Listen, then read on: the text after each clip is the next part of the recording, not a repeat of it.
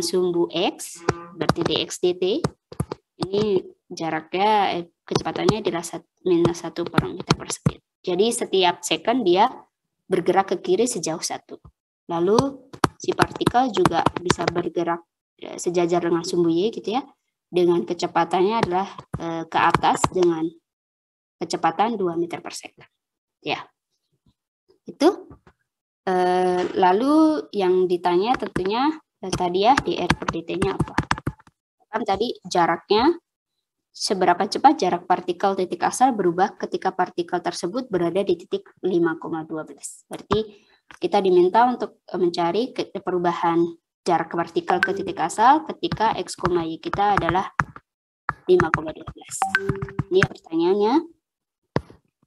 Lalu tentunya karena ada tiga kecepatan yang eh, ada dua kecepatan yang diketahui dan satu yang ditanya, maka ya antara partikelnya gitu. Yang nantinya tentunya kita jadi bisa tahu hubungan antara kecepatannya. Apakah hubungan gitu ya, hubungan antara X, Y, dan R. Hubungannya apa kira-kira? X itu yang mana, Y itu yang kira-kira eh, apa hubungannya? hubungannya adalah kalau saya punya ini di sini R gitu ya. Berarti X-nya karena dia koordinatnya adalah X, Y, maka di sini adalah X gitu ya. Di sini ada Y. Kira-kira hubungannya apa? Pitagoras Ibu. Pitagoras. ya. Berarti kita punya hubungan X kuadrat dan Y kuadrat sama setelah kita punya hubungannya, berarti kita apa hubungan gitu ya, hubungan antara Ntar kecepatannya dx dt, dy dt, dan drt. Hubungannya tentunya kita turunkan gitu ya kedua ruas dengan t dengan dt dan r. Karena semuanya adalah fungsi dari t, berarti ini seperti aturan rantai gitu. Kita punya ini 2x dikali dx dt gitu ya, ditambah dengan 2y dikali dy per dt sama dengan 2r dikali dr dt. Karena ada dua semua ya coret saja duanya. Lalu hmm, yang ditanya apa gitu ya? Yang ditanya adalah dr dt-nya berapa. Kelima, eh, kita diminta untuk mencari dr per dt saat eh, x, y-nya sama dengan 5,12. Ini berapa? Kalau kita lihat hubungan R itu kan sama dengan X kuadrat plus Y kuadrat. Kalau kita sederhanakan itu, dr per dt-nya berarti akan sama dengan X dikali dx per dt gitu ya, ditambah dengan Y dikali dy per dt, eh, dibagi dengan akar gitu ya, akar X kuadrat plus Y kuadrat. Ini dari mana? Ini adalah si R-nya. Jadi R-nya kita pindah ruas ke kiri. Sehingga di sini kita dapatkan dr per dt saat x, y-nya itu sama dengan 2, eh 5,12, kita akan dapatkan ininya 5 gitu ya. dx dt-nya adalah min 1, ditambah dengan y-nya adalah 12, dy dt-nya adalah 2, dibagi dengan 5 kuadrat ditambah 12 kuadrat. Ini akan sama dengan min 5 ditambah 24 dibagi 13. Yang sama dengan eh, 19 dibagi 13 meter per second adalah kecepatan perubahan partikel eh, terhadap titik asal pada saat posisi partikel itu di 5,12. Eh, gitu ya. Jadi itu adalah langkah-langkahnya. Jadi kalau besok eh, ada soal kuis yang seperti ini, ya adik-adik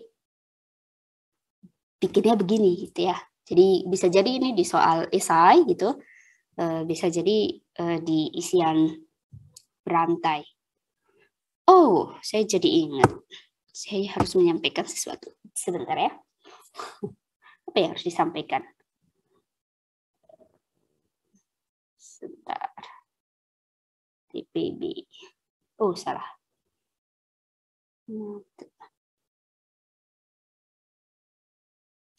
Jadi eh, UTS ini UTS jadi ngomongin UTS ya karena depan udah UTS supaya saya ingat gitu ya saya UTS ini akan tentunya dilaksanakan 16 Oktober kalian sudah tahu. Eh, akan dilaksanakannya di LMS nah, nanti belum tahu LMS-nya yang akan digunakan LMS yang mana. Bisa jadi berbeda dengan LMS yang kemarin kalian pakai untuk kuis gitu ya untuk KBR Jadi eh, nanti akan saya informasikan di grup WhatsApp gitu ya. Eh, nanti ada kemungkinan adik-adik eh, mesti join lagi gitu. Jadi harus itu lagi masukin lagi. Terus ikut lagi gitu ke LMS ya. Moodle. Jadi bisa jadi beda-beda. Mestinya sih berbeda ya. Gak tahu deh. Setahu saya harusnya beda, tapi gak tahu ya. Nanti saya uh, infokan lagi. Nah, uh, untuk UTS nanti, UTS-nya hanya bentuk soalnya hanya ada tiga, yaitu tiga tipe, pilihan ganda, isian singkat, dan isian singkat terstruktur. Isian singkat terstruktur tuh maksudnya gimana? Jadi yang singkat terstruktur itu uh, isian singkatnya nggak cuma satu kolomnya. Jadi ada tiga gitu ya, misalkan ada tiga, dan tiga-tiganya ini berhubungan. Jadi kalau udah biasanya kalau udah ini salah, ya yang ini juga akan salah, yang ini juga akan salah. Biasanya gitu. Terstruktur tuh begitu. Jadi ini uh, poinnya agak besar, jadi uh, kalau bisa hati-hati ya. Bisa hati-hati. Lalu uh, apa ini? Soal esainya tidak ada. Jadi di ujian tidak ada soal esai. Soal esai hanya akan ada di uh, PR biasanya saya di PR atau enggak di KBF ya. Jadi di KBF masih akan ada soal esai. Begitu? Ujian tidak ada. Udah sih, saya cuma mau menyampaikan itu. Jadi ya bisa jadi nanti adik-adik harus join Moodle lagi ya. Tapi Moodle-nya saya belum tahu nanti servernya yang mana. Nanti akan diberitahu uh, lebih lanjut lagi oleh Pak Fajar selaku koordinator. Begitu? Jadi kalau misalkan besok kuis gitu ya KBF Nah, yang dilaksanakan kayaknya belum belum tahu kapan, bisa jadi Selasa, Rabu, Kamis, tapi saya sudah sampaikan bahwa di kelas kita inginnya Rabu gitu ya. BTW kalau Kamis mau nggak sih? Kalau Kamis mau nggak? Atau terlalu mepet kalau Kamis? Atau enggak? Kalian lebih prefer mana deh, Rabu atau Kamis?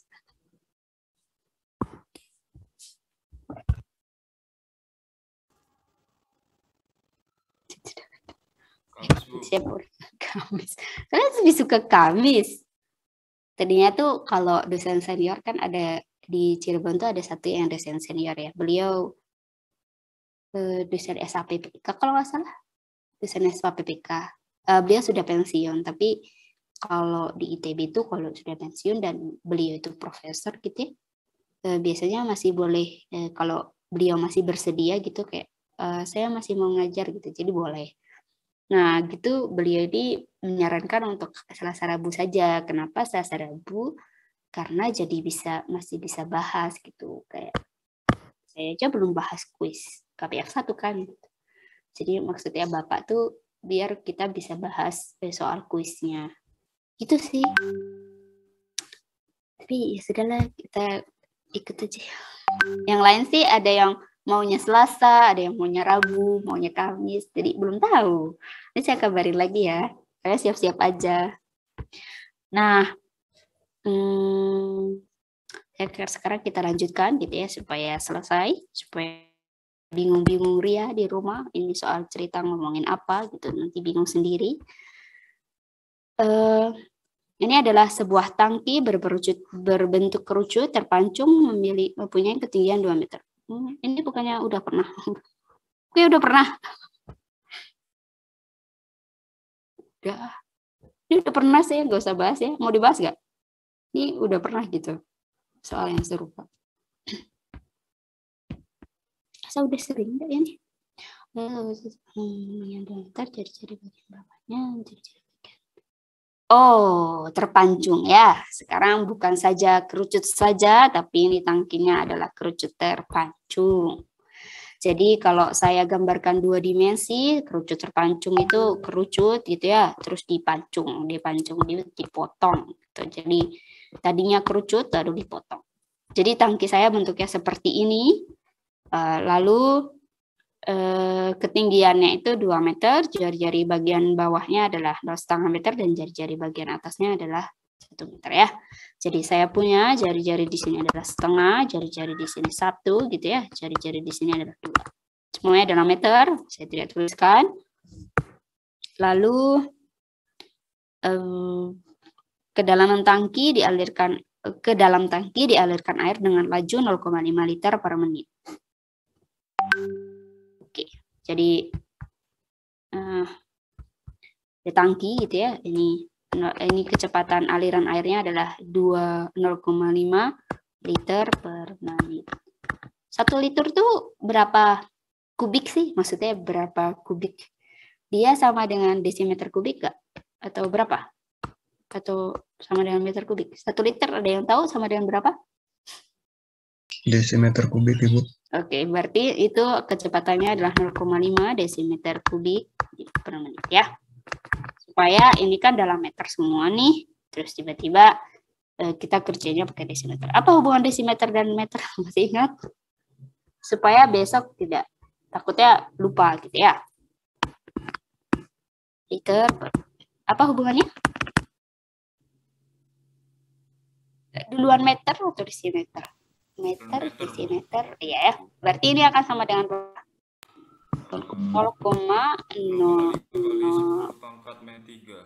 Iya, berapa tuh? 0,5 ya? Tadi 10 pangkat minus 3, Bu. Iya, Bu. Iya, per menit. Ini ya, 0,00005. Ini kan 5 per 10 seper, ya, seper 2000 gitu. Per 2000 eh, supaya kita kerjanya di satuan yang sama. Jadi kalau besok ujian ingat eh, satuannya itu samakan dulu supaya tidak bingung. Kalau meter ya segala meter semua ya. Udah begini berarti kita baru definisikan variabelnya. Kalau kita udah punya tangki seperti ini, berarti apa saja yang harus kita definisikan? Misalkan saya nanti diminta untuk ya udah sembarang H aja di sini. Saya punya H di sini. Tinggi air, ini misalkan airnya terpenuhi segini, ini H. Lalu saya punya R di sini. Ya, berarti saya punya V, punya H, punya R.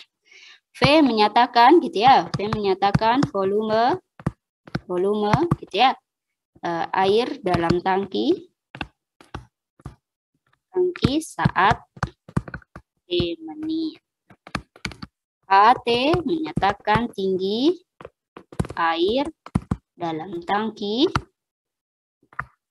saat menit. Tentunya R juga menyatakan jari-jari jari-jari air dalam tangki dalam tangki gitu ya saat. Oke. Kita sudah punya variabel ini, lalu yang diketahui hanya satu yaitu dV per dt-nya ini akan sama dengan eh, seper 2000 gitu ya meter kubik per menit. Ya. Oke. Eh, selanjutnya oh yang disuruh nyari adalah dH per dt berapa itu saat tingginya itu saat tingginya adalah 1 meter.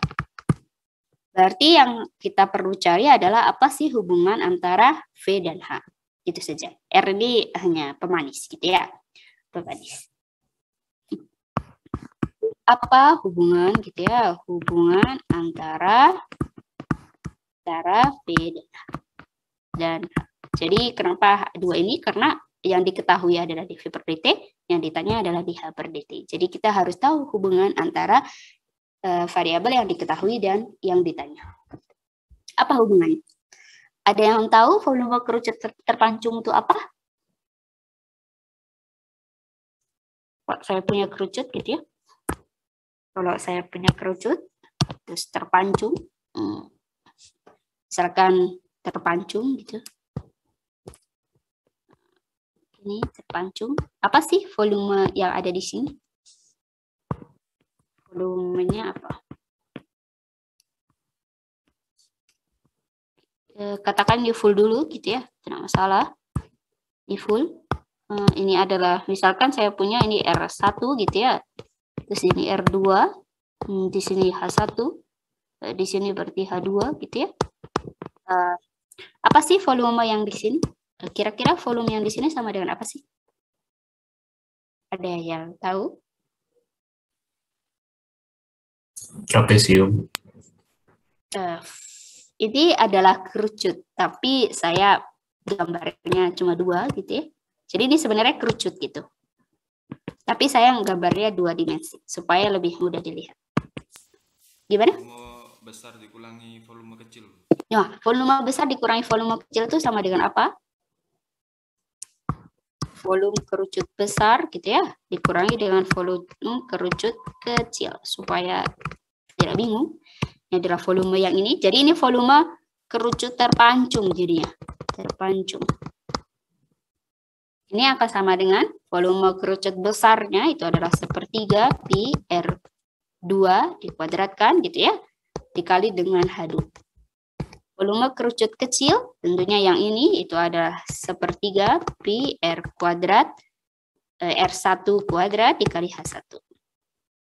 Pertanyaannya adalah apakah ada hubungan antara R1, R2, 1, dan H2. Ada hubungannya enggak? R1 R2 pakai kesebangunan bukan, Bang? Betul. Apa itu? Kesebangunan gitu ya. Kesebangunan. Kita pakai kesebang kenapa ada titik ya? Sebangunan kita punya bahwa R1 dibagi R2 akan sama dengan H1 dibagi R2. Karena kita sebenarnya punyanya hmm, ini ya, yang kita punya itu tingginya itu sebenarnya ini. Tingginya ini kan sebenarnya H2 dikurangi H1 nih. Jadi eh, pengennya adalah si dia itu dia itu apa? Sudah tidak aja. Misalkan pengennya dalam H2 saja gitu. H2 saja berarti apa gitu ya. Nanti kita akan pakai ini dalam kasus kita. Nah, eh, ini berarti kalau kita pancung gitu ya, kita pancung berarti yang enggak kita punya adalah sisi apa? H2, H2 itu kan segini nih. Yang kita punya hanya yang kita punya di informasi kita adalah H2 dikurangi H1, yaitu sama dengan 2. Ya. Di sini kan sama dengan 2. Atau enggak kalau uh, hanya segini, hanya segini, berarti kita enggak lihat full ya, kita enggak lihat full, kita enggak lihat sefull ini, kita cuma lihat segini, eh, lihat full dulu deh lihat full gitu supaya kita tahu si yang terpancung ini berapa sih H1-nya berapa sih jadi kita nggak lihat hanya dulu tapi kita pengen tahu eh, yang dipotong itu ini kan sebenarnya kerucut full tapi kita potong kan nah kita pengen tahu dipotongnya ini sebenarnya dipotongnya tingginya berapa sih gitu kira-kira gimana sebangunannya berarti apa H1 plus 2 per H1 bukan? Hmm. Oke, saya gambarin lagi supaya tidak bingung gitu ya di sini. Jadi kita lihat yang full dulu enggak yang A. E, kita punya di sini dua, e, lalu di sini punya satu, di sini punya setengah. Yang kita punya siapa sih? Kalau misalkan kita lihat yang ini. Yang kita punya tentunya R1 gitu ya, R1-nya setengah, R2-nya berarti satu. Dan yang kita punya lagi adalah H2 min H1. Sama dengan Kan ini H2 kita kan dari atas sampai bawah nih. Terus H1 kita dari sini ke sini. Gitu ya. Jadi e, dari sini kira-kira jadi tahu nggak apa sih apa sih berapa sih H2 dan berapa sih H1? Kira-kira jadi tahu nggak? Kalau saya punya ini dan ini. H2 sama dengan 2H1. H2 sama dengan 2 plus H1 gitu. Ini boleh. Baru kita substitusi ke sini. Kalau substitusi ke sana, ini kan R1-nya setengah nih. R2-nya 1. H1-nya berarti H1 aja. H2 ya kita ganti. Ini menjadi setengah dikali H1 dibagi 2 ditambah H1. Kalau kita kasih silang, kita punya 2 ditambah H1 sama dengan 2 dikali H1. Jadi kita punya H1 kita ter2 nih. Ternyata si yang kerucut terpancung tadi kita itu adalah dari e, memotong kerucut yang tingginya itu 4 dan dipotong setengahnya. Gitu. Jadi eh, ini kerucut yang tadi di soal itu sebenarnya adalah kerucut terpancung yang di soal itu sebenarnya adalah kerucut full yang tingginya 4 itu diameternya satu lalu dipotongnya di tengah-tengah. Sebenarnya eh, bisa dengan mudah gitu ya karena ini jari-jari yang setengah mau mau dia pasti di setengah kalau di sepertiga gitu sepertiga kita bandingin dengan satu Kira-kira akan berapa? Mungkin akan terjawab dengan mudah. Gitu. Mudah atau tidak? Gitu ya. Tapi gitu, ini adalah eh, cara lengkapnya. Jadi ternyata kerucutnya seperti ini. Ini dua, nah ini di sini dua gitu ya. Nah, artinya V kerucut terpancung adalah eh, ah, ini kalau full. Jadi saya punya gitu ya, saya punya ternyata dia didapetinnya dari eh, kerucut yang tingginya itu sebenarnya 4 dapetinnya di sini saja supaya tetap itu. Jadi terpancung gitu. Yang awalnya dia itu e, tingginya 4. Ya, tingginya 4. Nah, sekarang dan di sini dua supaya tidak bingung, saya bagi saja ini dua dan ini juga dua ya. Di sini setengah, e, di sini.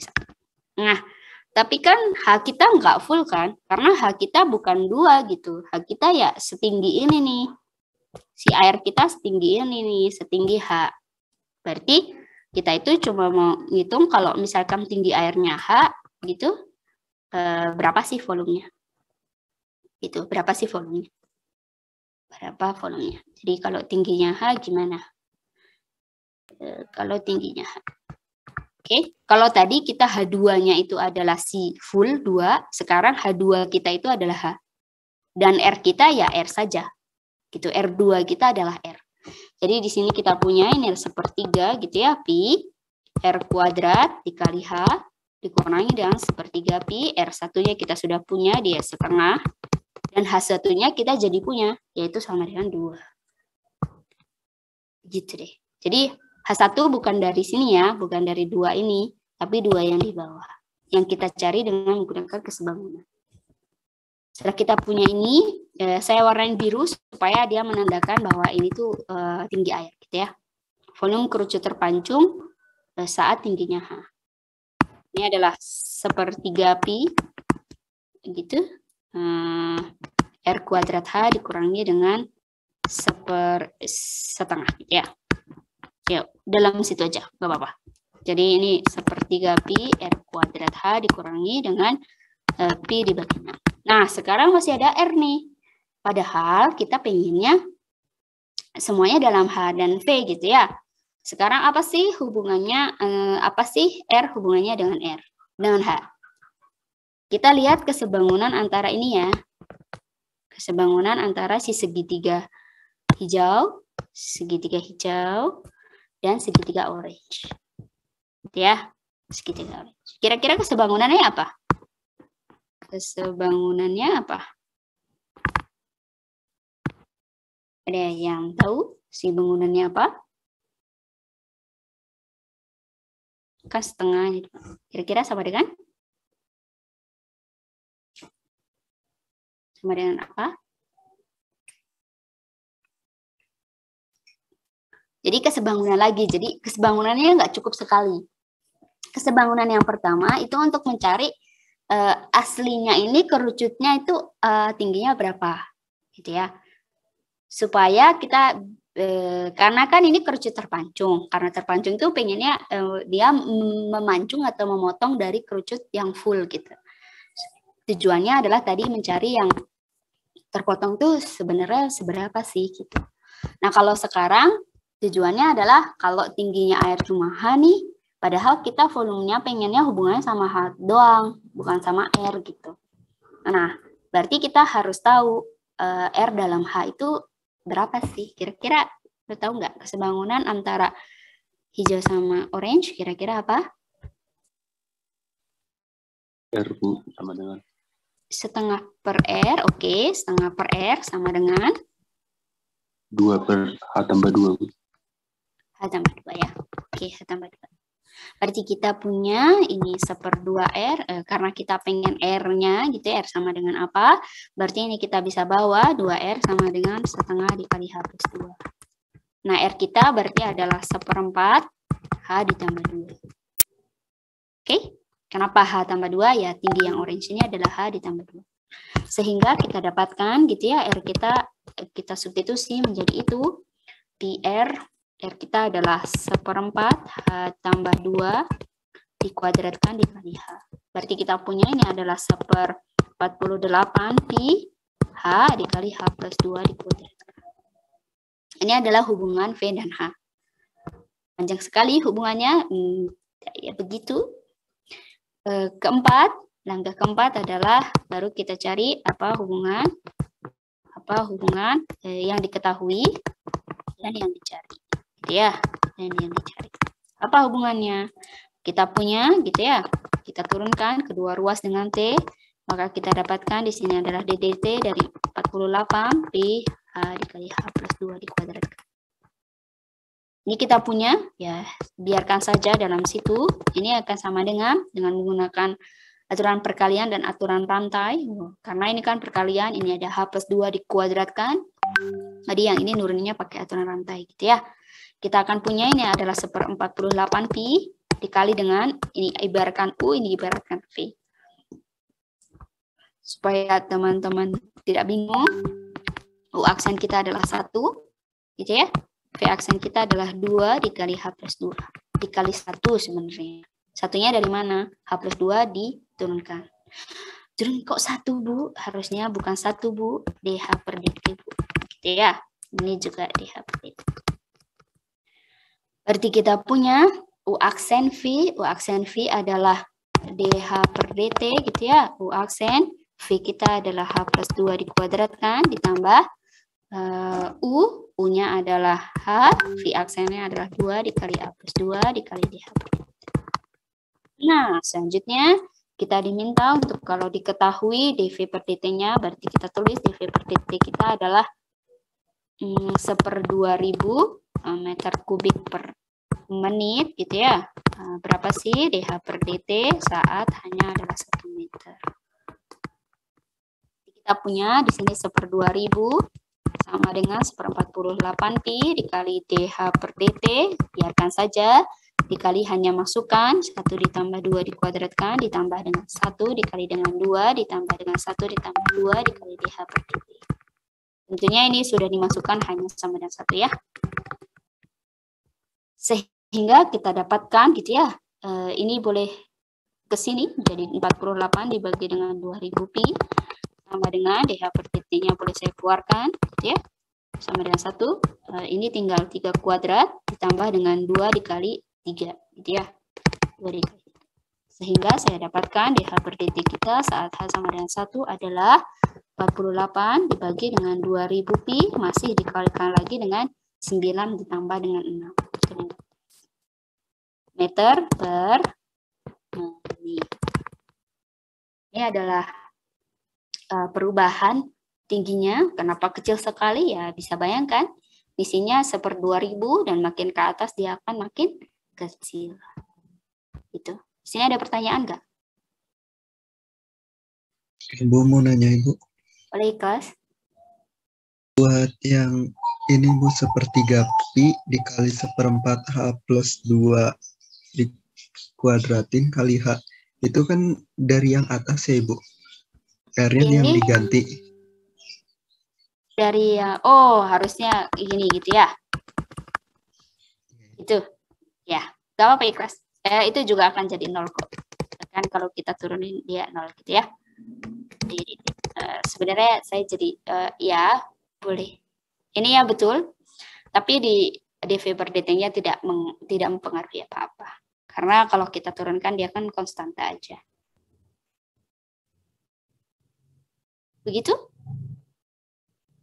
Karena yang R1 H1 ini jadi yang terpancungnya berapa gitu ya. Di- Gimana ikhlas? Udah? Udah Ibu itu aja. Oke. Yang lain gimana? Eh, ini cukup panjang, eh, pusing ya, pusing. Gimana Bu? Gimana kenapa ada paper 6 Bu? Ini loh, tadi tadi lupa nulis. Ini tuh saya lupa nulis, harusnya kan ada ekornya, mimpi berenang. Mimpi berenang juga. Tapi kan kalau diturunin konstanta kan jadi nol kan, jadinya di sini tidak mempengaruhi apa-apa gitu. Lu- Lupa nulis aja. Gitu. Tapi di kecepatannya tidak mempengaruhi apa-apa karena kalau diturunin ya nol. Itu sih. Ap apalagi? Udah? Udah? Udah belum? 40, ini 43. Ya, bisa baca lagi. Mungkin sekarang fokus kalian juga eh, rada nggak tahu. Kalau dulu zaman saya pas saya jadi SMA, eh saya jadi SMA lagi, jadi kalian pas TPB gitu sih. Kalau dulu lebih parah kan pas angkatan saya tuh ujiannya bukan besok lagi gitu, tapi sorenya. Jadi kayak eh, siangnya atau sorenya ya, si sore.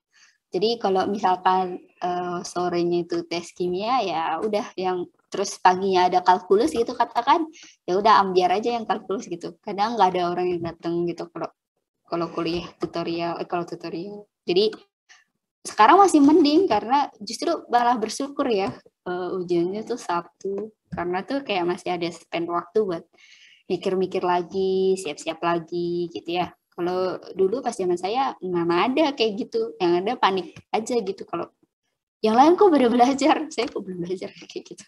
Panik sendiri jadinya. Apalagi masih ketemu temen kan, kok dia jago, kok saya enggak. Nah kayak gitu udah makin minder aja. Dulu paling saya paling nggak bisa kimia. Uh, kalau dilihat lagi dulu ya kimia tuh angkatan saya agak jelek sih pas pas semester 2 itu rata-rata kelas tuh eh, di batas E. Jadi kalian bisa hitunglah sendiri berapa E. Sampai dosen saya geleng-gelengnya, oh ini kelas gimana sih? Tapi ya lulus kok. Jadi kalau kalian eh, merasa nilainya jelek gitu, ya udah biasa di ITB. Gitulah. Ya, jadi jangan kaget kalau besok dapat tiba-tiba dapat berapa gitu ya.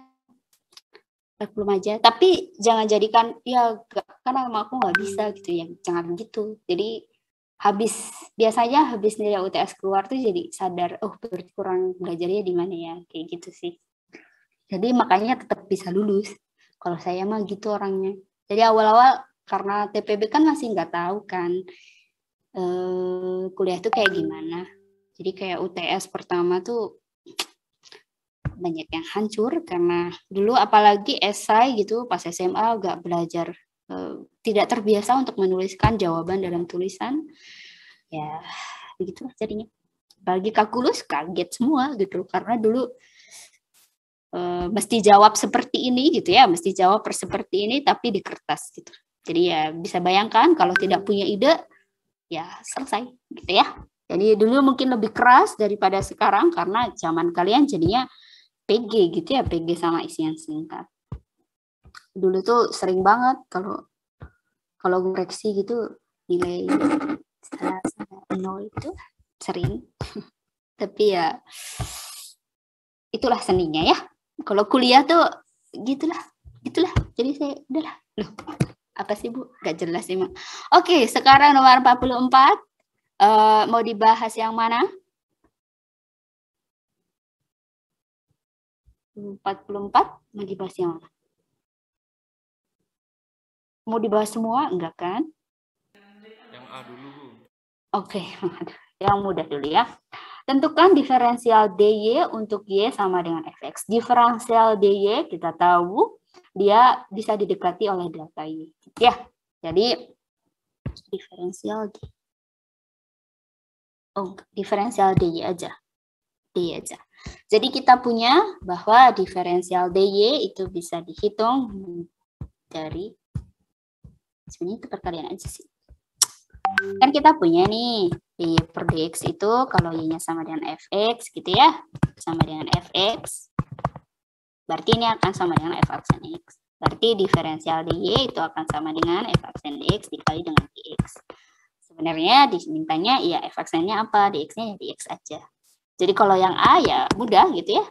F aksen kita adalah F aksen kita adalah eh, apa itu? 4x pangkat 3 dikurangi 6x. Begitu aja. Jadi di sini 4x. 4x pangkat 3 dikurangi dengan Itu adalah diferensial Y. Eh, diferensial Y. Jadi kalau diferensial Y karena Y adalah variabel yang tak bebas, maka dia masih eh, maka DY itu dipengaruhi oleh si. Nanti si D si DX-nya ini yang dia diferensial uh, variabel yang bebas gitu. Jadi kita nggak tahu DX-nya sama dengan apa. Gitu ya. Begitu uh, DX begitu saja. Uh, jadi tentunya bisa gitu ya. Sekarang yang nomor 45 aja.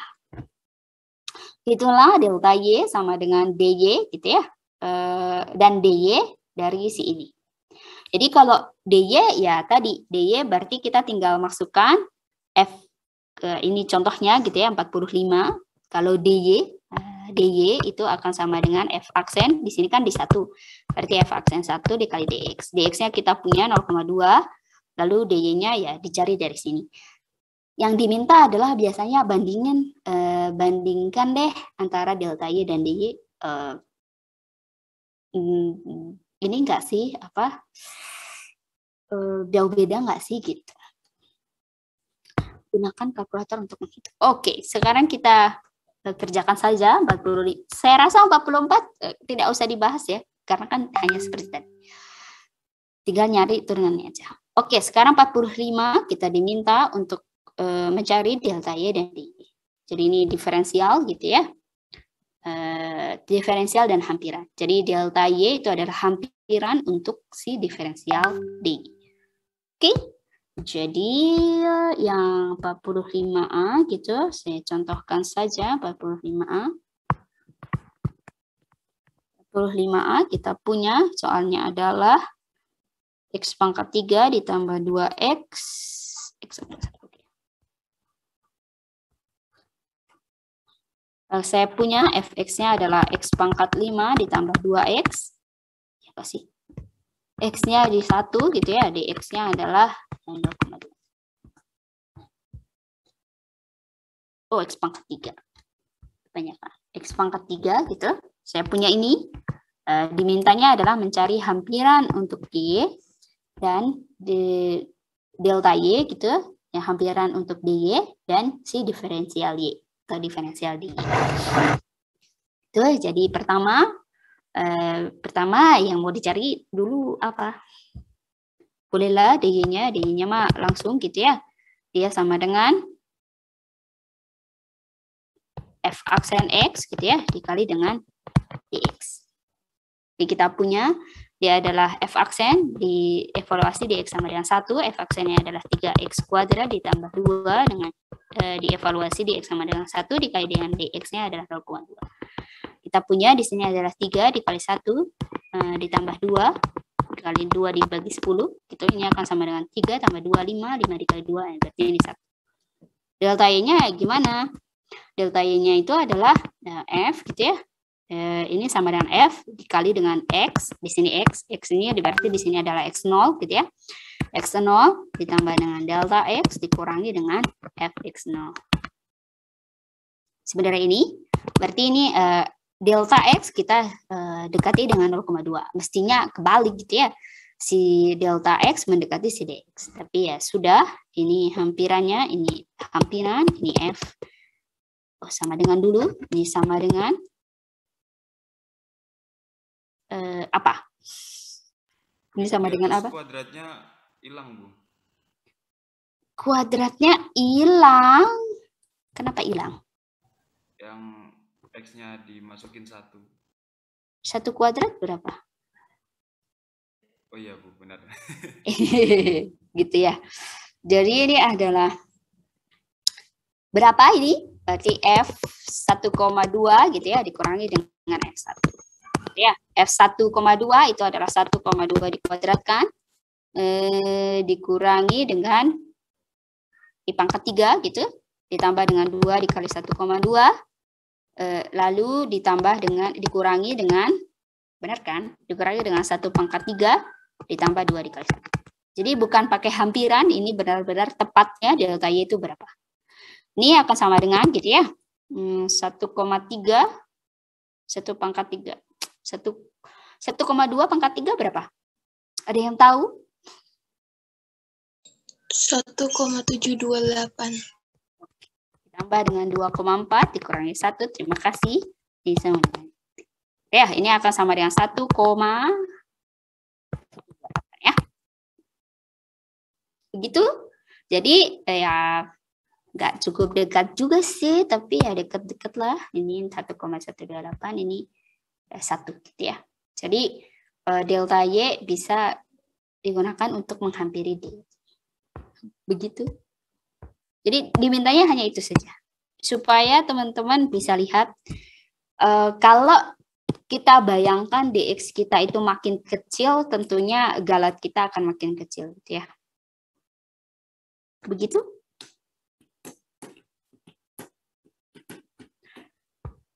Sekarang ke hampiran linear. Sekarang ke ini sama saja ya seperti tadi. Jadi D-nya dari mana, delta I-nya dari situ.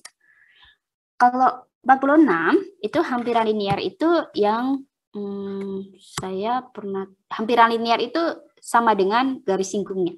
Jadi persamaan garis singgungnya. Jadi kalau misalkan di titik eh, hampiran linearnya gitu ya, nah, di hampiran linearnya hmm, Lx gitu, dia akan sama dengan hmm, apa? Pernah sih guys? Sama dengan eh, di titik mana gitu ya. Kalau ini A berarti eh, di titik mana FA gitu ya. FA ditambah dengan F aksen A dikali dengan dikali dengan delta deltanya itu apa? Eh, X dikurangi dengan A. Gitu ya. Jadi ini adalah hampiran linear supaya ingat saja. Saya tuliskan di sini. Saya ulangi saja eh, hampiran linear kegedean. Jadi supaya ingat ini sebenarnya garis singgung gitu ya. Ini adalah garis singgung. Eh, garis singgung gitu ya, garis singgung singgung eh, di titik A. Kita bisa tulis Lx sama dengan FA ditambah dengan F aksen A dikali dengan X. Ya, itu adalah hampiran linear. Eh, nanti kalau di, di semester eh, semester 2 mestinya ya. Nanti akan keluar eh, hampiran yang untuk eh, pakai yang Jared Taylor gitu ya. Jadi ini hanya yang linear dulu, artinya linear itu hanya menggunakan turunan pertama. Begitu. Jadi kalau sudah punya ini ya mudah gitu ya. Berarti harus nyari F aksennya dulu berapa. Jadi yang diminta adalah mencari LX. Contohnya misalkan yang A berarti LX-nya adalah F min 2 gitu ya.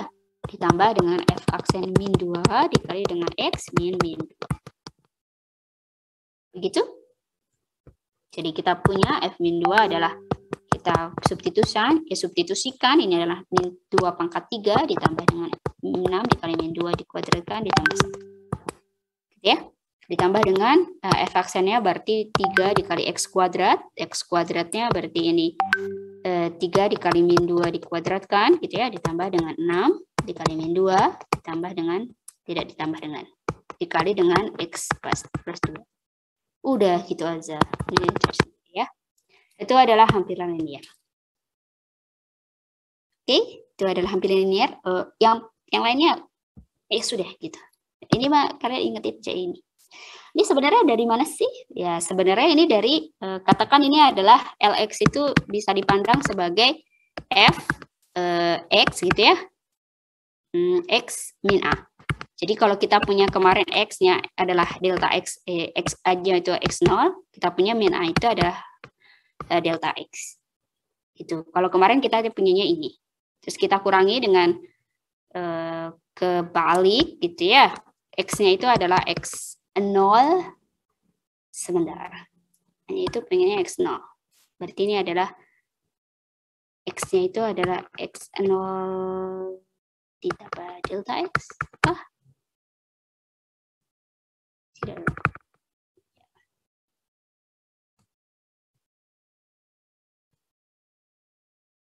Ya ya, jadi X-nya di sini gitu ya. Eh, ibaratnya kalau kemarin LX-nya itu kita punyanya itu adalah eh, LX-nya di sini itu sebentar saya mikir dulu apa hubungannya sama X. Eh, itu sebenarnya pengennya F. Kalau kita punyanya kan ini ya. Nah, kita pengennya ini adalah X. Oh ya, ini adalah ya ini saja gitu ya. Delta X kita adalah X min A. X0 kita adalah si A. Oh berarti Fx saja. F- Fx0. Enggak dong, Bu. Oh? Sebentar, sebentar. Kok saya jadi puter? Tapi intinya adalah LX itu sebenarnya adalah si Fx0 ditambah delta X kita. Kalau kita bilang ini dan ternyata dia sama dengan FA gitu ya, kita kan kemarin sama dengan F0, Fx0 berarti ini adalah A kita gitu ya, delta X-nya adalah X min A. Nah, jadi dia seperti Fx saja sih, makanya ini disebut LX. Begitu. Tapi kalian daripada bingung, uh, ini saja ya. Intinya LX adalah gitu oke? Okay? Uh, tapi ini asalnya dari asalnya dia sebenarnya dari hampiran linear gitu. Kalau kita punya kalau kita punya ini itu dia akan sama dengan atau dihampiri oleh si fx0 gitu ya ditambah dengan f aksen x0 dikali dengan uh, delta x. Kalau kita punya ini berarti delta x kita adalah x min a gitu ya. Delta x kita adalah x min a, x0 kita adalah si a. Makanya tadi jadi fx. Nah, karena Tadi kan ini hampiran nih, supaya nggak jadi ham, karena sudah ada kata hampiran di sini, makanya ini jadi sama dengan, karena kan sudah ada kata hampiran. Makanya ini jadi LX aja, gitu. Kenapa jadi sini? Pokoknya ini, udah. Nah, sekarang eh, kita lanjutkan ke eh, hampiran linear lagi, supaya masih itu ya. Eh, misalkan saya punya fx-nya adalah x pangkat 3, misalkan lx adalah hampiran linear, gitu ya, fx di A sama dengan 1, manakah yang lebih besar? Mana yang lebih besar antara L1 0, L sama dengan 1,01 eh, dan F. Jadi ini nilai yang sebenarnya, ini nilai hampirannya, gitu ya. Kita bisa menghitung gitu, eh, kita bisa hitung bahwa eh, L1,01 ini akan sama dengan F1 gitu ya. F1 ditambah dengan ya kan di sekitar satu yang bisa kita hitung. F aksen 1 atau A-nya di sini 1 eh, berarti si X dikurangi A-nya adalah X dikurangi A. Berarti adalah 0,01. Berarti kita punya F1-nya adalah 1. Eh, F aksen satunya berarti adalah 3 karena 3X kuadrat eh, supaya tidak bingung gitu ya. Saya tulis saja ini adalah 3x kuadrat, maka ini 3 dikali 1 kuadrat dikali 0,01. Nah, ini adalah hampiran linearnya. Ditambah 0,03 jadinya 1,03. Kira-kira gedean mana antara 1,03 dengan 1,1? Jadi eh, lebih besar mana antara ini dan eh, F 1,01. Artinya 1,01 pangkat 3. Ah, gedean mana tuh? Gedean siapa? Hmm, antara 1,03 dengan 1,01 dipangkatin. 1,03. Saya jadi kaget terus Tuhan. Ini lebih besar ini ya. Berarti lebih lebih besar yang ini. Kenapa? Eh, masa sih 1,03? Oh, jadi 1,1,01 kalau pangkat 3 jadi berapa? gede ya? 1,03031 gitu, Bu. 1,0303. Nah, kan? Berarti ini lebih gede ya. Kenapa bisa bilang gitu gitu ya? Pas tadi Ridwan ngomong, hmm, sih gitu. Nah, karena kalau kita kalau kita gambar gitu ya, X pangkat 3 itu gini kan. Kan gini nih. Kita ibaratnya di satu, berarti garis senggungnya gini. Nah, supaya tidak ini saya hapus dulu. Kan hampiran linear itu kan hampiran garis singgung, pakai garis singgung. Tadi kan saya udah bilang kan pakai garis singgung. Pakai garis singgung nih. Berarti kalau uh, ini saya zoom, ibaratnya ini saya zoom di sini. Jadi saya punya zoomannya, zoomnya, berarti ada gini gitu ya.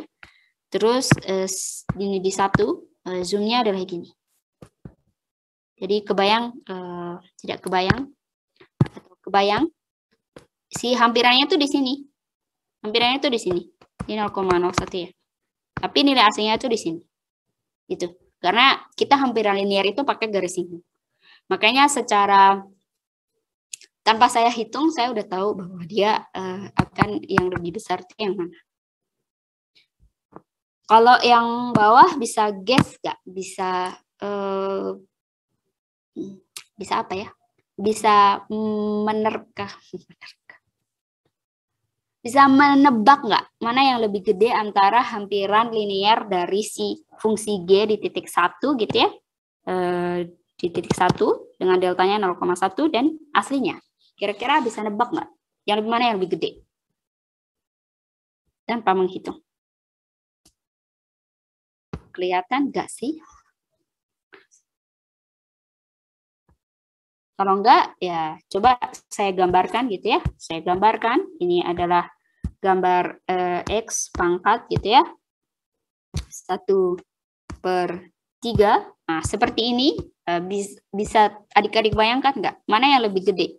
Antara hampiran linier di 1,01 gitu ya, eh, dan nilai aslinya. Kira-kira gimana? Kelihatan nggak? Yang di satu nih.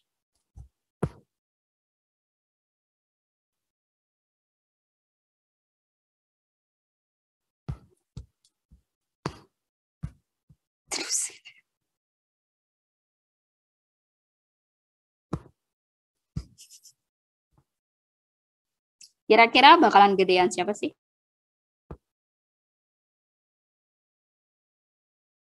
Enggak, enggak ini ya, enggak bisa ya. Hmm, saya tebak, bisa jadi tebakan kan, kan nebak, boleh ya salah tebakan. Kalau dari gambar saya tebak bahwa yang yang lebih gede itu adalah si hampirannya. Kalau ini ya gede fungsinya ya, karena tebak kalau nebak tuh tebak aja kalau saya suruh nebak Berarti L1,1 itu adalah ya F1 eh, sama seperti yang atas, berarti F1 kita atau di sini G gitu ya. G1 kita adalah 1 ditambah dengan G aksen 1 kita adalah sepertiga gitu ya, dikali dengan 1 karena akar pangkat eh, du, akar pangkat eh, gitu, akar dari X pangkat 3 gitu ya. Eh, dikali dengan mm, 0,01. Ah, gedean siapa? Antara ini atau akar dari akar pangkat 3 dari 1,01. Ah, gedean siapa? Ini mestinya 1,003 ya? Enggak dong. Iya dong. 0,3. Gedean siapa? Ada yang punya kalkulator? Hmm, gedean siapa? kok gedean yang ini bu? Tadi saya nebak sendiri, saya salah kan? Akar pangkat 3 dari 1,01 adalah? 1,003322. Ini ya, 0033, ah, nolnya eh, 00332. Gitu ya, jadi tebakan saya benar walaupun dia eh, bedanya cuma sedikit. Begitu? Begitu ya? Oke. Okay? Jadi dari gambar sebenarnya udah kelihatan gitu. E, garis singgung kita itu ada di atas si fungsinya atau enggak sih gitu. Kalau di bawah fungsinya berarti hampiran linearnya lebih kecil dari nilai fungsinya. Kalau garis singgungnya di titik tersebut di atas fungsinya berarti ya hampiran linear kita bakal lebih besar daripada nilai fungsi kita. Gitu ya. Oke. Okay. Misalkan f adalah fungsi yang mempunyai turunan di mana-mana. Tunjukkan bahwa jika f adalah fungsi ganjil, maka f aksennya adalah fungsi genap. Nah, gimana tuh? Apakah bisa membuktikan? Jadi saya punya, apa ini kita belajar pembuktian. Jadi saya skip aja. Saya kasih aja ya ke kalian. Kalau saya punya fx adalah fungsi ganjil, artinya karena f adalah fungsi ganjil, maka eh, f min x-nya sama dengan min fx ya. f min x-nya sama dengan min fx. Berarti f aksennya, f aksennya ini adalah f uh, min x gitu ya. Saya turunkan. Ini berarti juga menurunkan yang sini ya. Ini juga diturunkan. Berarti ddx terhadap x. Yang ini akan menjadi f aksen min x gitu ya, dikali dengan min 1 sama dengan min fx, min f aksen x. Jadi saya punya f aksen min x-nya sama dengan fx yang arti, f aksen x. Artinya fungsi turunan kita adalah fungsi genap. Ya, ada pertanyaan di sini? Dan menunjukkan, eh, saya tunjukkan saja.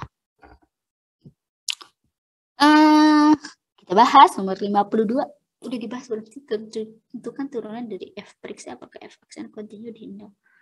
Tentukan semua aja sehubungan f aksen kontinu di hmm. Oke.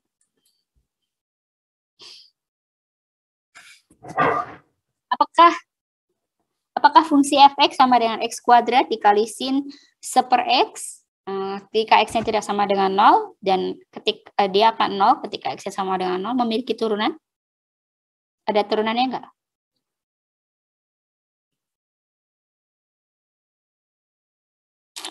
Kalau nanya ada turunan tuh berarti harus ngecek eh, dari kiri dan kanan, yaitu turunannya sama, gitu ya.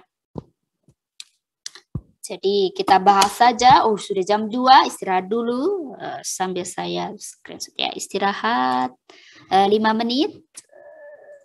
Silakan istirahat sambil saya siapkan untuk eh, untuk absennya. Beri aku petunjukmu Kadang-kadang kelam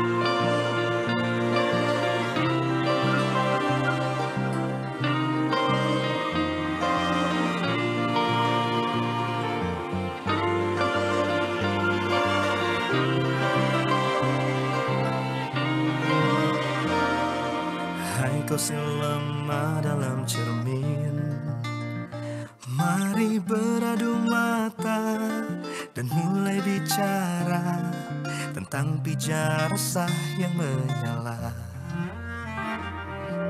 Benarkah ini yang kau ingin? Pura-pura sempurna, kelabui celah demi aman nyamanmu tersiar. Hai si lemah Buatlah semesta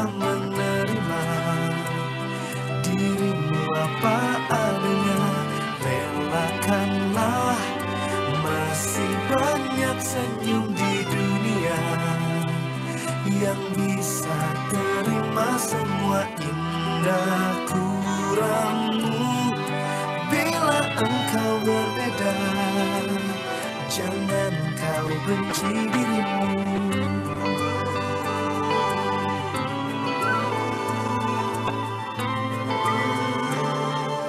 Habis daya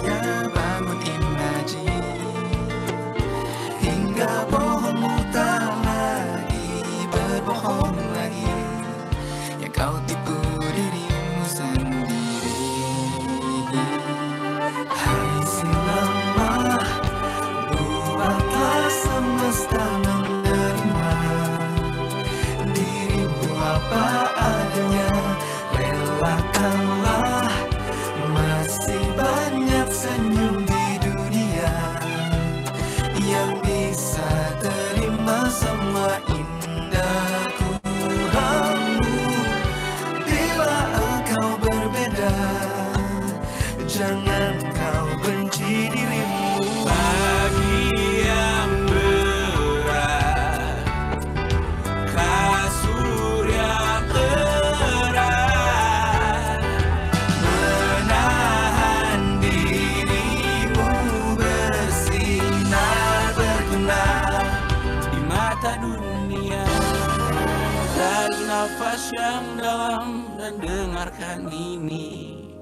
Apa pun yang kau idap atau menghantui Bukan halanganmu untuk kalahkan hari.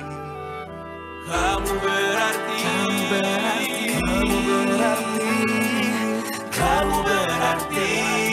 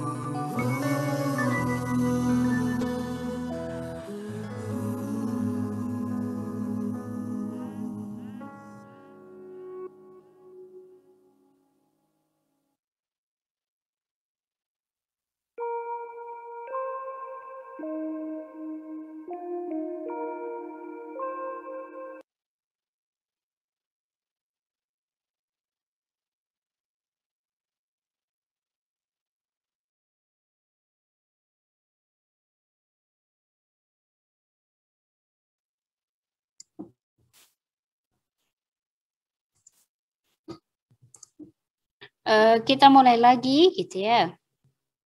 Hmm, dulu, oke. Kita mulai lagi eh, untuk eh, nomor 52.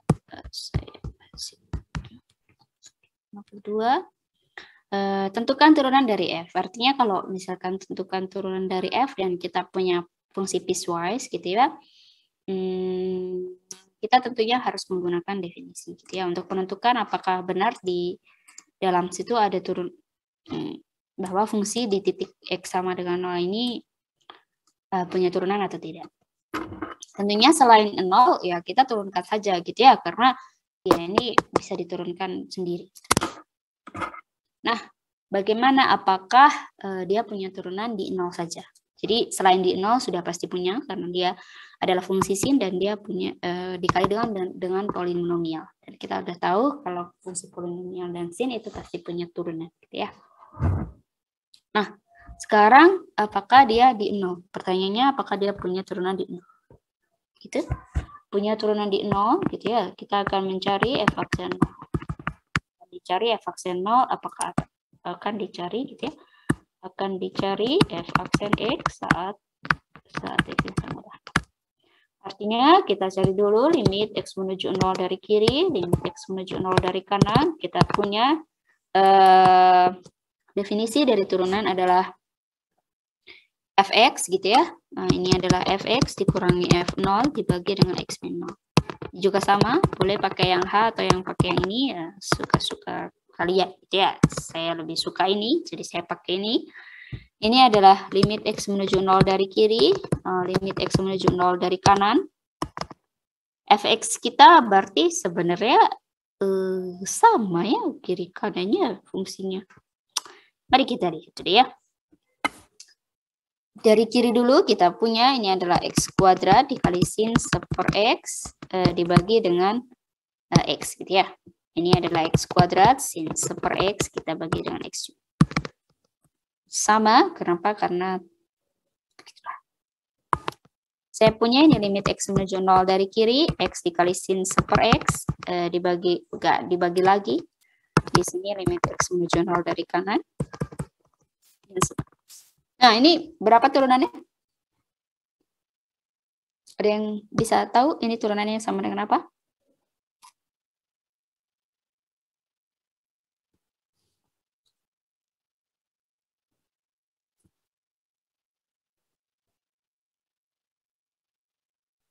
Turunannya adalah sin 1 per X ditambah kok turunannya? Limitnya. Limitnya apa? Ini kan lagi nyari limit ya. Limitnya apa? Jadi f aksen nolnya kita tahu. Selain di nol kan kita udah ya bisa bikin aja. Di nol berapa?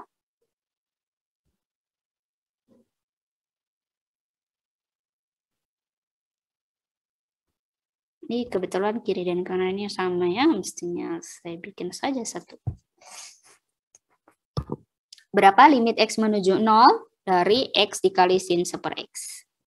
Jadi eh, karena kiri dan kanan sama fungsinya, jadi tidak perlu dua arah ya. Fungsinya kan sama fungsi fx. Berapa? Ada yang tahu jawabannya? Satu. Satu? Nah, hati-hati ya. Ini limit x menuju 0, sin 1 per x dibagi 1 per x. Yang kita punya adalah sin x per x. Yang kita punya ini. Bedanya ada yang tahu apa?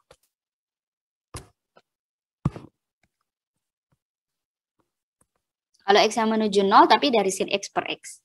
Ini 0. Tapi kalau 1 per x, kira-kira ini jadi apa? Kalau saya misalkan ini ya, nah, misal gitu ya, misal y itu adalah 1 per x, kalau x yang menuju 0, berarti y kita menuju berapa?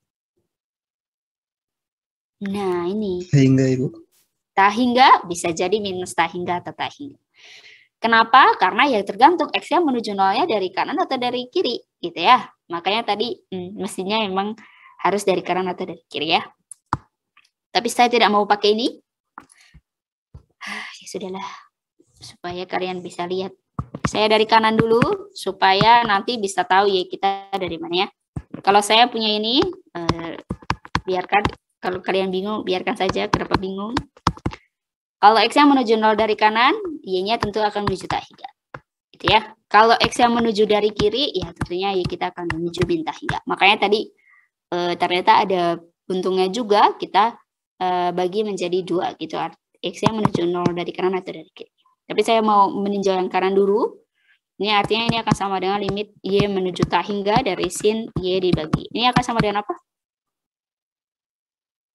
Akan sama dengan? Pakai apa sih?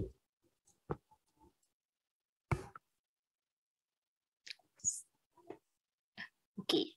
Sebagai bayangan, sin Y itu nilainya dari min 1 sampai 1. Kalau misalkan yang atas itu nilainya dari min 1 sampai 1, yang bawah ini gede banget. Kira-kira gimana? Dia akan menuju berapa?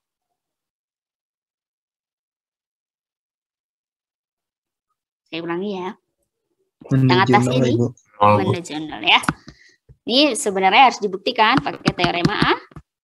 Di teorema Apitnya gimana? Teorema Apitnya bisa bikin sin Y itu adalah beda dia itu mm, nilainya pasti di, lebih besar sama dengan satu kurang dari satu. Kalau saya bagi dengan Y super Y ini akan seperti. Kalau saya limitkan Y menuju tak hingga ya. Ini akan limit Y menuju tak hingga dari super Y. Ini akan limit Y menuju tak hingga dari min super Y.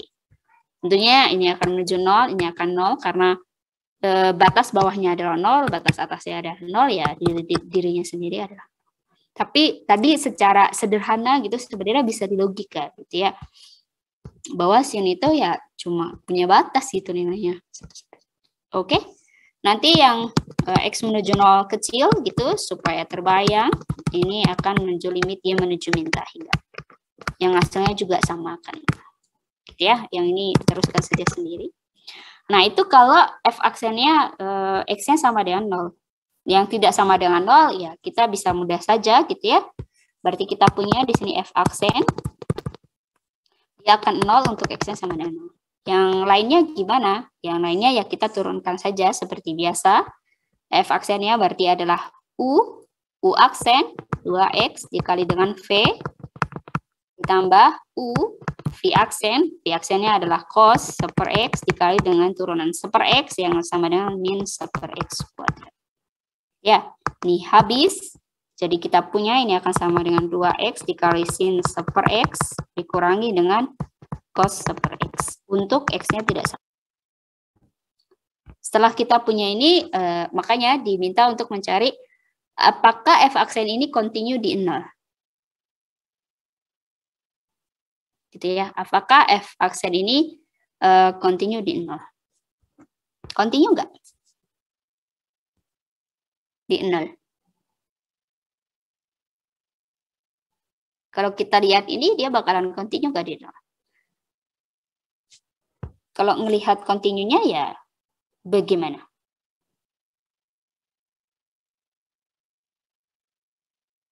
Hmm.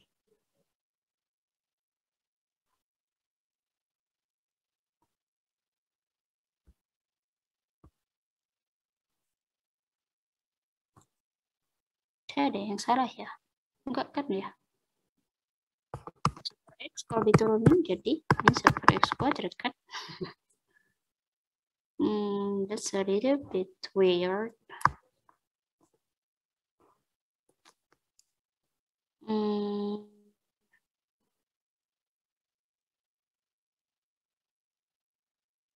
Ini nggak bisa gini ya. Kenapa nggak bisa gini coba? Ini aja fungsinya udah tidak terdefinisi. Enggak benar. Oke. Ada ini? F aksennya continue nggak di nol?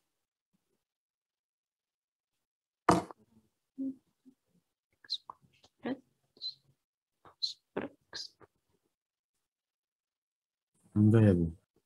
Enggak. Enggak continue ya? Kenapa enggak continue?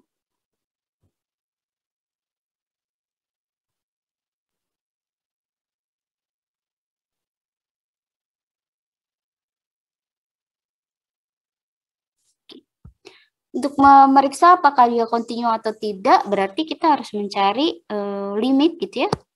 Limit x menuju 0 dari 2x dikali sin seper x gitu ya.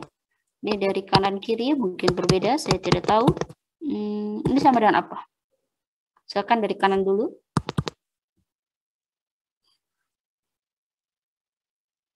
Hmm, Oke, ini berapa?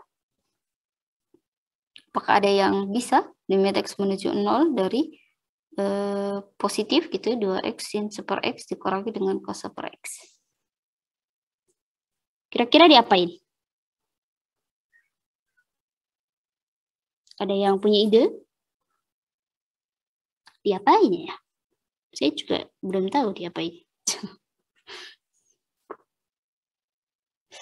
Kali aja kalian ada yang tahu diapain. Hmm, menarik sekali ini ya. Kalau kita gambar gitu ya, eh, dia bisa nggak ya? Kita minta bantuan aja ya. Desmo, saya panggil kamu. Oke, fungsinya apa tadi diingat-ingat? 2x dikali dengan sin seper x gitu ya. Seper x eh, lalu kita kurangi dengan cos eh, seper x. Oh, kira-kira ada limitnya nggak? Enggak ada, Jika dia nggak ada ya, dia akan apa? Akan berfluktuasi gitu ya. Jadi ini tidak, eh, artinya dia tidak continue, dia tidak continue hmm, di x sama dengan 0. Kalau di lainnya dia bakalan continue nggak? Kita, kita lihat ini. Ini kan kita gambarnya saya copy saja gitu ya. Ini enaknya software. Tapi itu sebenarnya bisa dihitung nggak sih?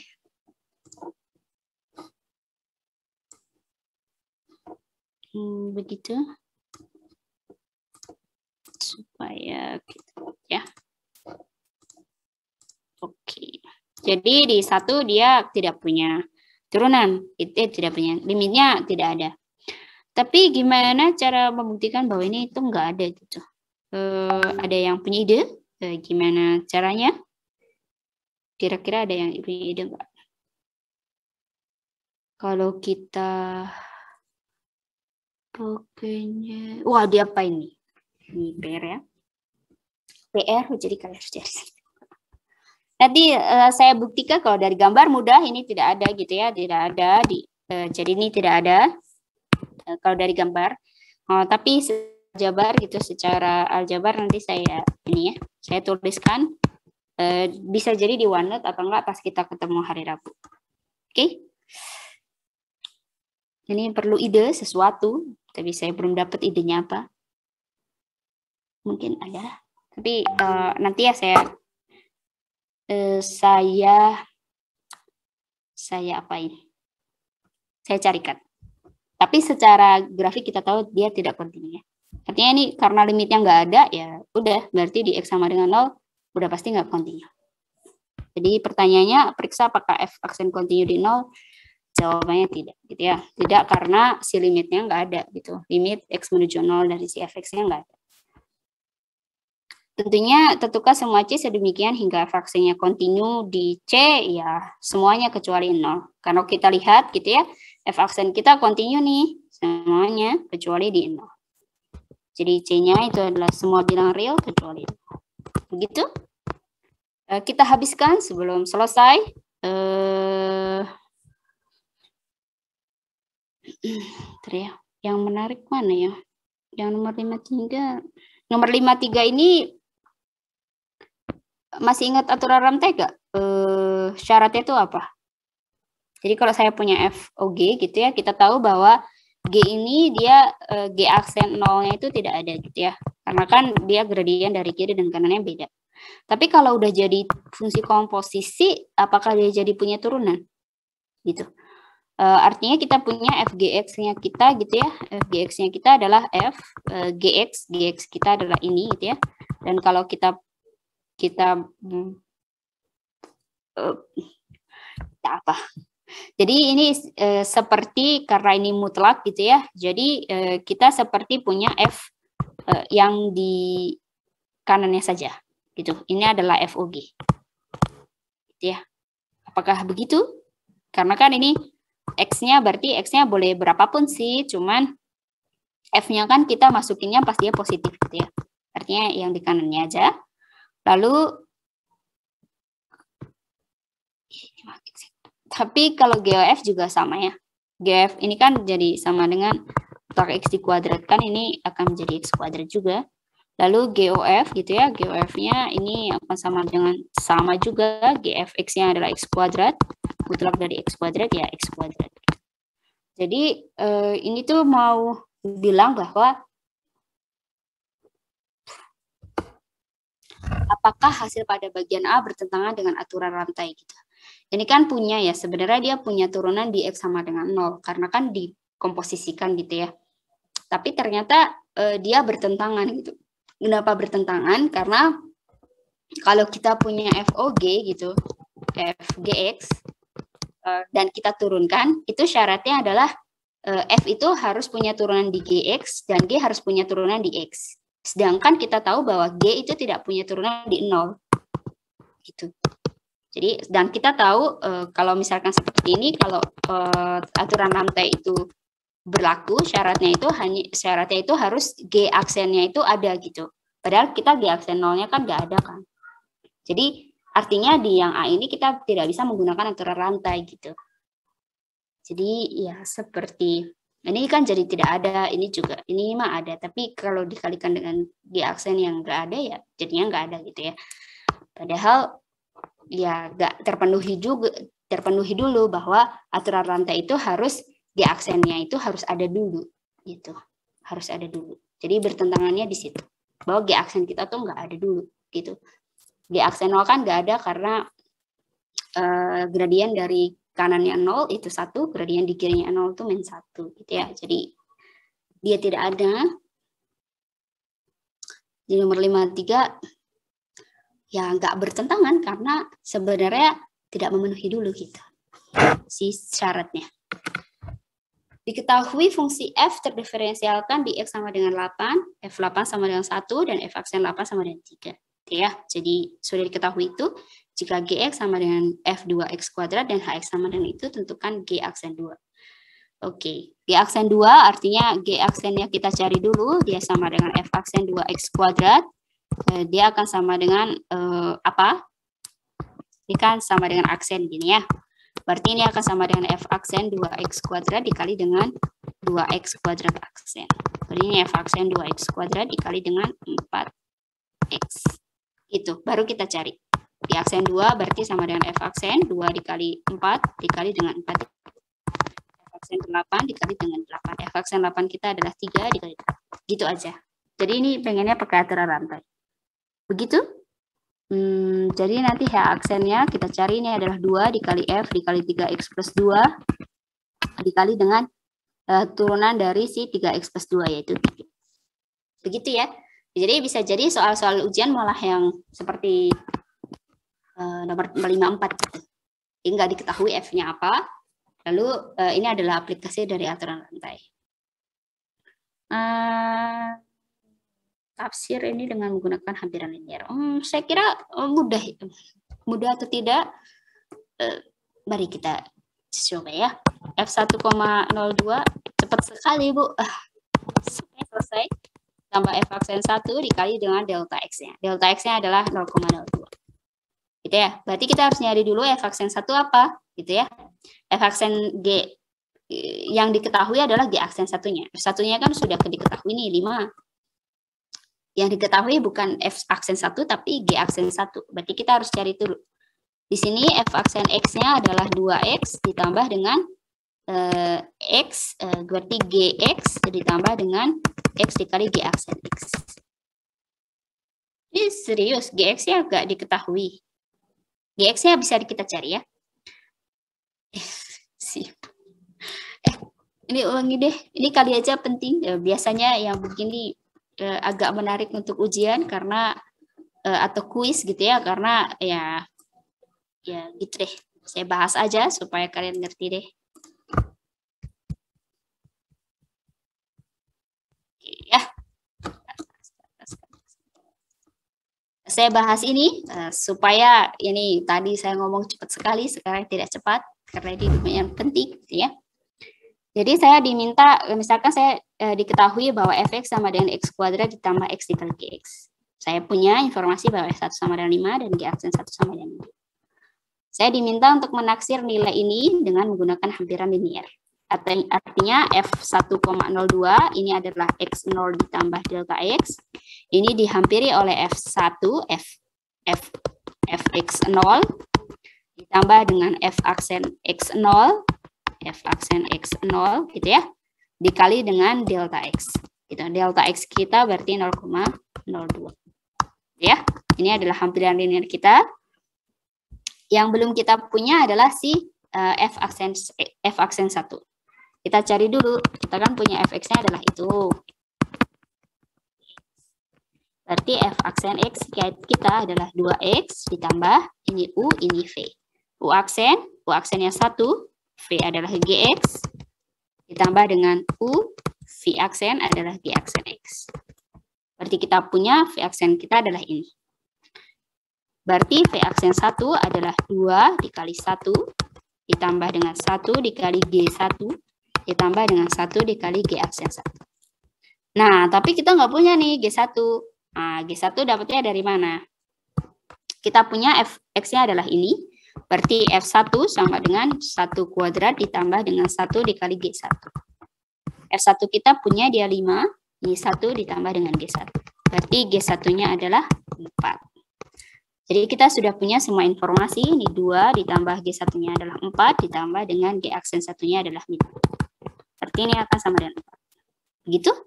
Setelah kita punya semua informasi, berarti kita punya ini akan sama dengan F1-nya adalah 5, ditambah f aksen satunya adalah 4 dikali dengan uh, deltanya adalah 0,2. Berarti ini akan sama dengan 5,0,0,008. Gitu ya. Begitu. Jadi variasi soalnya bisa seperti ini gitu. Tidak diketahui efeknya apa. Cuman eh, diketahui beberapa informasi tentang fungsinya. Oke, sampai sini ada pertanyaan dulu. Bu itu G aksen satu kok bisa jadi min dua gimana Bu? Eh, G aksen ini diketahui di soal. Itu di soal ya.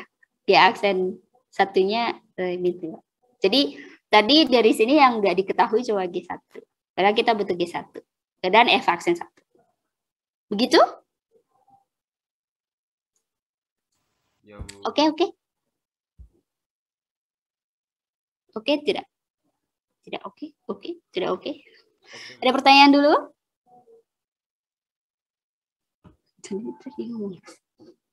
Ada pertanyaan lagi? Tidak? Kalau tidak, ya lanjut. Aduh, udah mau meledak. Kita lanjut dulu ya, supaya eh, mengurangi lah. Eh, ini saya nggak tahu telah konsepnya akan sama atau tidak. Kita nyicil, tapi ini dari tahun tutorial tahun dua tahun sebelumnya, gitu ya. Karena Hmm, ya tutorial tahun ini belum ada. Saya mau bahas yang hmm, mana ya? Yang menarik dulu. Menarik semua kah? Hmm. Diberikan setengah titik kritis nih mana ini mana, Wah, Tidak perlu lah ya. Ini aja. Kalau saya punya grafik nomor 10 dulu, nomor 10 berdasarkan grafik f aksen x dan f double aksen x yang diberikan eh, sketsa grafik fungsi y sama dengan fx. Uh, jadi bisa jadi nih ya di ujian diketahuinya cuma grafik y f aksennya begini, eh, double aksennya seperti ini. Mana sih yang merupakan fungsi f? Nah, biasanya bisa seperti itu yang melewati titik p gitu ya. Jadi ada informasi-informasi ini. Eh, ini berarti domainnya di semua bilangan real ya, karena ini eh, sampai ke sana gitu ya. Ini juga ya. Oke.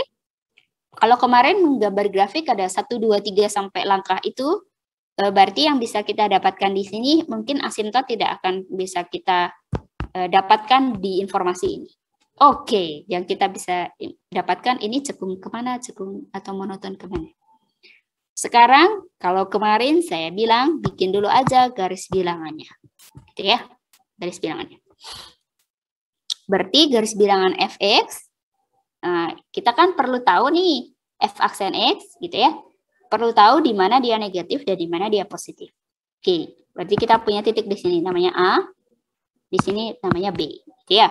Kenapa A sama B di situ? Karena itu adalah eh, di mana perubahan antara si F aksen kita itu dari negatif ke positif dan positif ke negatif. Di sebelah kirinya A, nah, yang biru ini adalah grafik F aksen ya. Berarti kalau bikin garis bilangan F aksen, berarti kita tiliknya yang oh, gambar fungsi F aksen. Di sebelah kirinya A, ini negatif. Sebelah kanannya A sebelum B, dia positif. Setelahnya B, sebelah kanannya B, dia negatif. Lalu kita punya fungsi f double aksen nih. F double aksen eh, sama seperti yang kemarin seperti yang lalu kita dapatkan dia eh, kapan dia akan berubah dari cekung ke atas ke cekung ke bawah atau sebaliknya dari cekung bawah jadi ke atas. Itu berarti eh, kapan sih dia berubah tanda dari positif ke negatif. Itu kan di sini nih. Saya sebut dia C. Jadi saya sebut dia C. Lalu di sebelah kirinya si F double aksen kita positif. Di sebelah kanan C F double aksen kita negatif. Ya. Setelah itu eh, seperti biasa kita bikin ini yang titik-titik penting kita satukan. Artinya tadi kan di sini positif nih, berarti di sini positif positif. Gitu ya. Karena kan ini positif tadi. Lalu di sini juga ini kan negatif nih, berarti di sini negatif, di sini negatif juga. Ini kan positif, berarti ini positif, positif juga. Begitu? Berarti karena f aksen yang negatif, berarti dia turun. Di sini Ini berarti titik C ya. Di antara A sampai C dia positif. Positif juga, lalu negatif. Yang ini menandakan senyum atau sedih. Karena positif berarti dia senyum. Karena positif dia senyum. Karena negatif dia sedih. Karena negatif dia sedih. Lalu bagaimana dengan gambar F-nya? Gambar F-nya berarti kita punya A di sini, punya C di sini, punya B di sini. Gitu. Ini masih sama. Kita gabungkan. Dia turun tapi senyum. Turun tapi senyum. Berarti gini. Dia naik tapi senyum. Naik tapi senyum. Gini. Gitu ya. Jadi kalau naik sedih gitu ya. Kalau naik senyum gini. Jadi pertama bikin dulu naik. Senyum. Oh berarti kayak ditarik ke sini. Biar dia jadi senyum. Begitu? Yang ini eh, dia naik terus sedih. Berarti naik, naik dulu, terus sedih. Oh, berarti begini. Hmm, Dia turun sedih, turun dulu tapi sedih. Oh, berarti begini. Setelah kita dapatkan ini gambaran fungsi kita, kita eh, diberitahu nih bahwa di titik 0 si y kita adalah si di titik p gitu. Berarti kita punya patokan si fungsi kita melalui itu. Katanya fungsi kita melalui ini titik p. Ya, jika grafik melewati titik p. Eh, A kita ada di sebelah kiri. Oh, berarti A kita di sini, eh, C kita di sini, dan B kita di sini. Tinggal copy saja. Ini tinggal copy ke sini. Oh, berarti gini. eh, dia dari A, gitu ya. Eh, dari A, dia sana. Oh, berarti P-nya kan ada di sini nih. Ada di ada di eh, selang A sama C. Berarti kita bikin dulu yang dilewati oleh si dia. A sama C dia begini. Oh, berarti kira-kira gitu deh, gitu.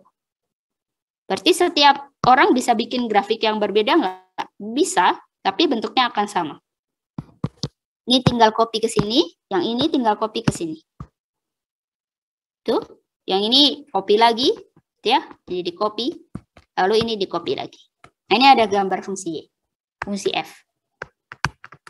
Sampai sini ada pertanyaan nggak? Gimana cara gambarnya? Eh, Boleh nanya apa pun, eh nanya apa pun. Boleh nanya tentang ini dulu. Eh, masih bingung? Kalau bingung saya jelasin lagi. Karena bisa jadi di ujian eh, begini gitu ya. Ini potensi untuk keluarnya loh.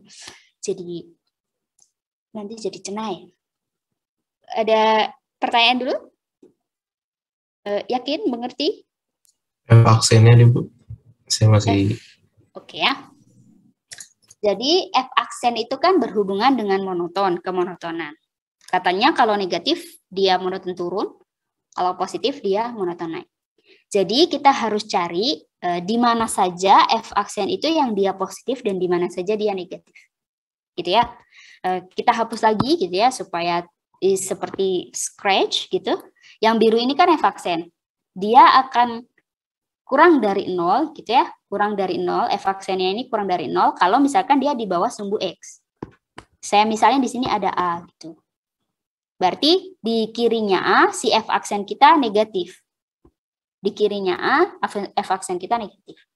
Di kanan di kanannya A sebelum B f aksen kita positif. Di kanannya B dia negatif. Gitu ya. Dia negatif. Jadi kita punya garis bilangan untuk f aksen. Jadi bikin dulu garis bilangan untuk F aksen.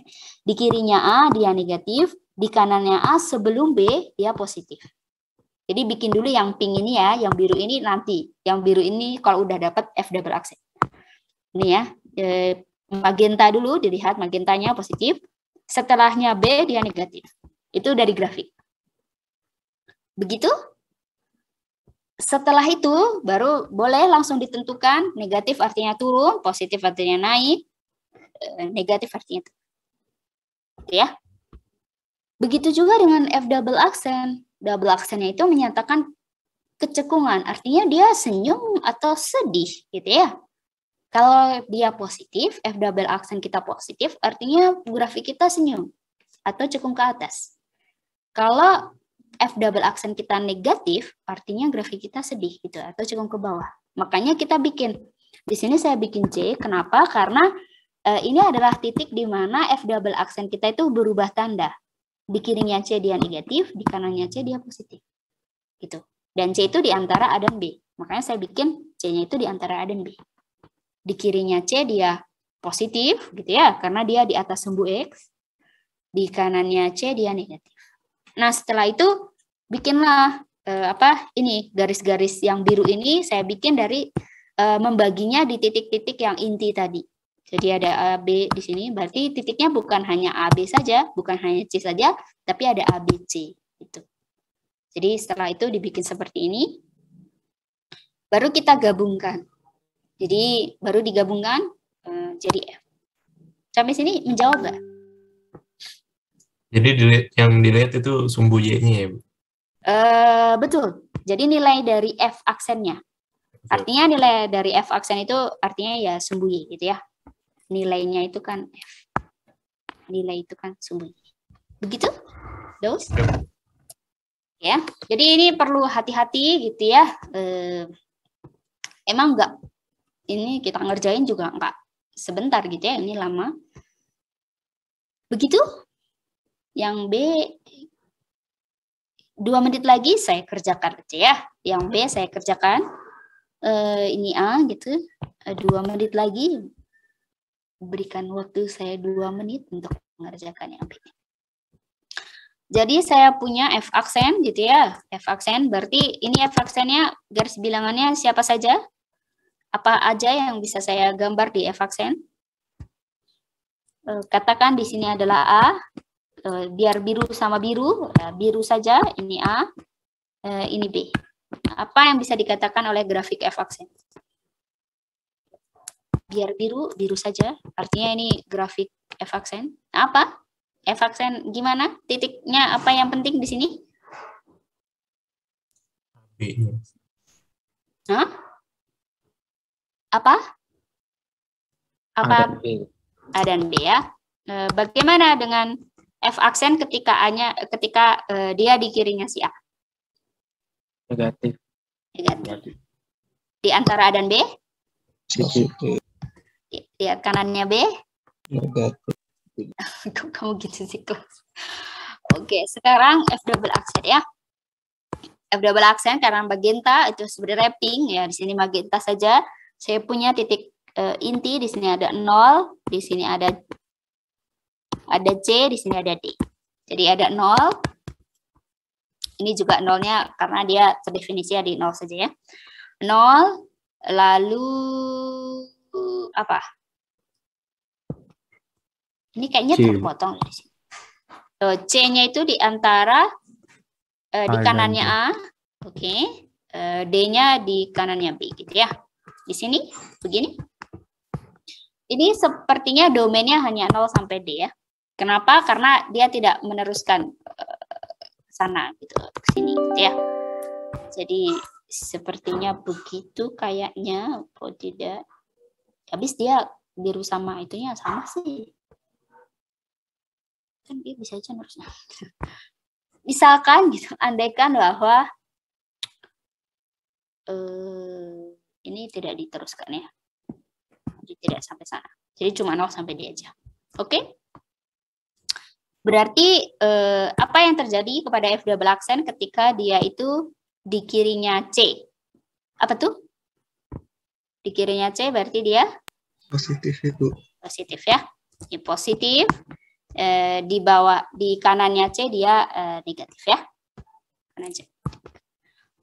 Setelah itu eh, kita bikin gitu ya F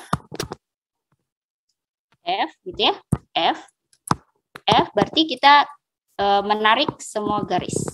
Jadi kita tarik di titik-titik intinya gitu ya. Titik intinya hmm, kita punya 0 sampai eh, D dan kita punya A di sini, kita punya C di sini, kita punya B di sini. Eh ini berarti A sampai C, C kan di sini nih. Berarti dia dia di sini ya. C A sampai C berarti di sini positif, di sini positif juga ya. Eh, 0 sampai A ini positif, positif, ini negatif, negatif. Supaya dia terbagi menjadi dua kamar. Padahal dua kamar ini sama nih, dia negatif, jadi gitu. Selanjutnya kita eh, gambar apakah dia naik turunnya ya. Karena f aksen negatif berarti dia turun, f aksen positif naik, f aksen positif naik, f, eh, negatif turun. Double aksen positif berarti senyum, eh, double aksen positif senyum, double aksen negatif sedih, double aksen negatif sedih. Berarti dia turun, tapi senyum, berarti ya kita gini. Gitu ya. Terus dia naik, tapi senyum, berarti gini. Lalu dia naik, eh, lalu sedih, berarti gini. Eh, dia turun, tapi sedih, berarti gini. Oh, udah deh. Habis itu kita gambar dengan titik intinya itu ada di sini. gitu. Jadi eh, di nol dia eh, P di situ ya. Jadi di nol, di nol dia P.